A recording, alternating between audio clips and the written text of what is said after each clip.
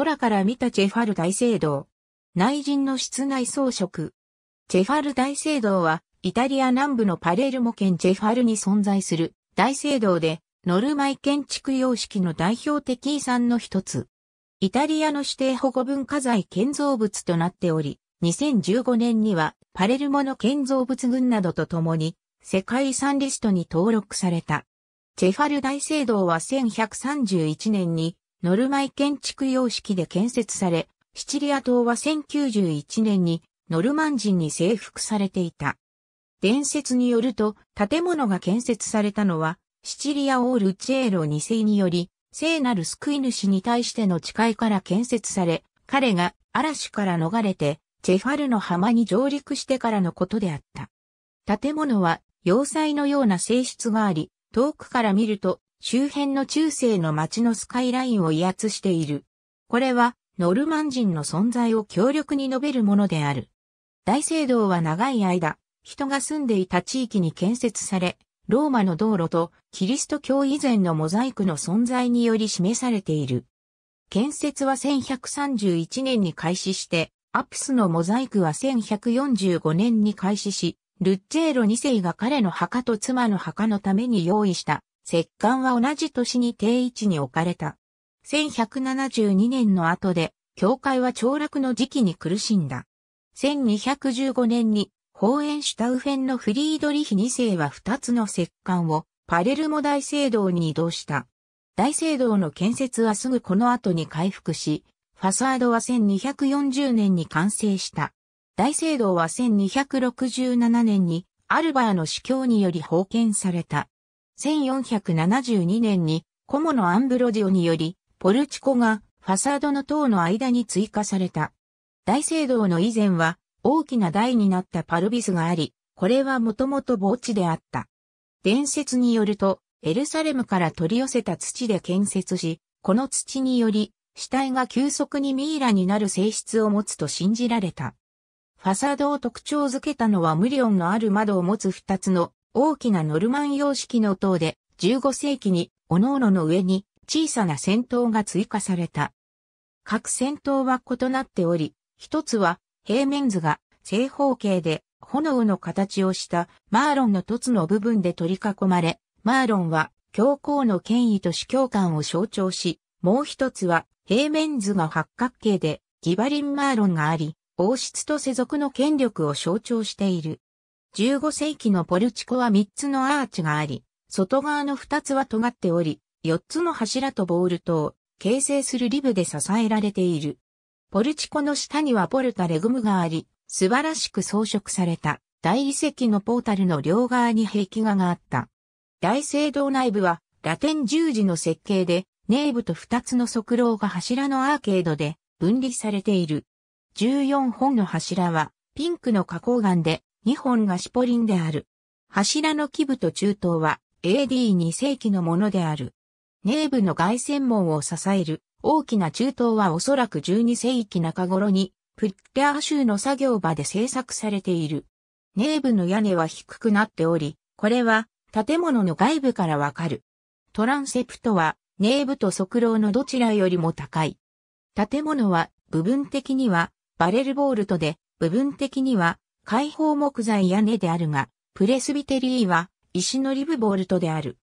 クロッシングの向こうでは、教会は普通とは違っており、壮大で単純な形式においては、基本的にロマネスク様式であり、これに尖りアーチを組み合わせている。この造作は、モンレアーレ大聖堂にも見えられる。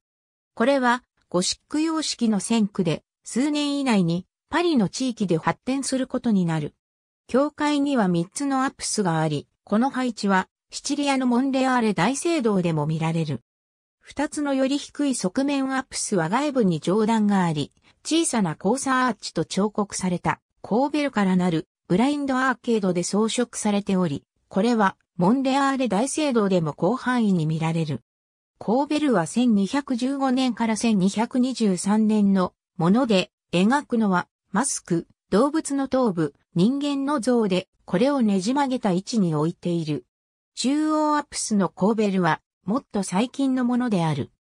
中央アプスは、もともと3つの大きなオクルスがあり、これは後に閉鎖されて、モザイクと尖りアーチのより大きな中央窓に余地を与えた。もう二つの丸窓の組はトランセプトの端にある。大聖堂には教会内部から入ることができる回廊がある。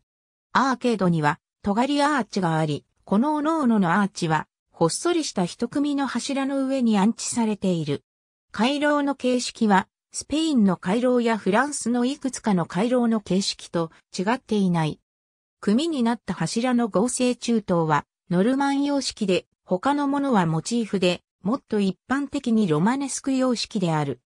この回廊はその後に続くシチリアのノルマン様式の回廊、特にモンレアーレのもののモデルとなっている。全能者、キリスト、聖母マリアと4人の大天使。おそらく教会全体をモザイクで装飾することが計画されたが、この計画がやり遂げられたのは内陣の領域のみであった。モザイクは後陣と側廊の半分ほどをなお覆っているのが見られる。ルッチェーロ2世はモザイク技術の達人をコンスタンティノープルから呼び寄せた。彼らは彼らの伝統的なビザンティンの装飾芸術を北ヨーロッパに起源がある建築構造に適用した。装飾計画の支配的な形は、クライスト・パントクラターが、祝祷で手を持ち上げている胸像で、アプスの半ドームに描写されている。左手にヨハネ福音書を持ち、これにギリシャ語とラテン語で次のように書かれている。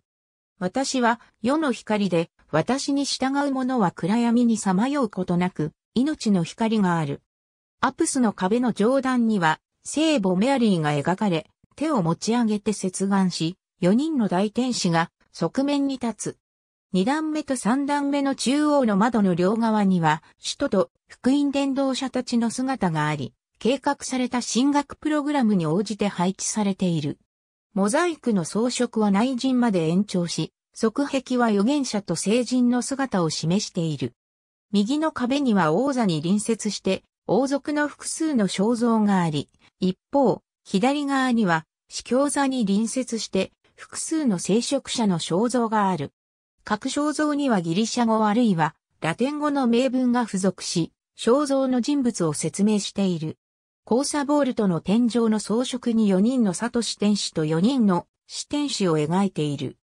主要な肖像は青の服をまとい、黄金のタイルの背景で輝きが与えられている。作品は最高の状態で人物のローブのひだ、顔と身振りの鋭敏さに優雅さが表示されている。これはイタリアで最も素晴らしいビザンティンモザイクと思われ、コンスタンティノープルの他のビザンティン末期の作品と比較できる。ビザンティンモザイクは1170年までに完成した。内陣の下の部分と側壁は17世紀になるまで完成しなかった。これらはそれ以前の絵画を覆い、このかすかな痕跡が今日も残っている。ありがとうございます。